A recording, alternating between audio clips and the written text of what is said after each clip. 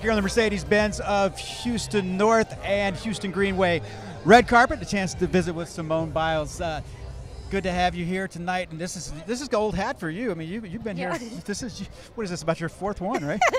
No, it's really exciting to be here, especially because we haven't had the Houston Sports Awards in a couple of years. So to bring it back to the community and have all the sports athletes out here is really exciting time. Isn't it really cool though to get all these people? I mean, everybody has busy lives, and there's so many things going on all over the place. But to get everybody to come and be in one place like this, it really is kind of special, isn't it? Yeah, I think it's special, especially because we've been in the pandemic and we haven't kind of got to get out and about. So to bring the community together at something so special is so fun. Uh, how cool is it knowing that you know this is this is your home, and uh, Yeah. and that the, a city puts puts together an event like this. Uh, It's really exciting because I don't know many cities that do it. So it is really like we feel really honored, really special. All right, thank you very much. You're welcome. All right.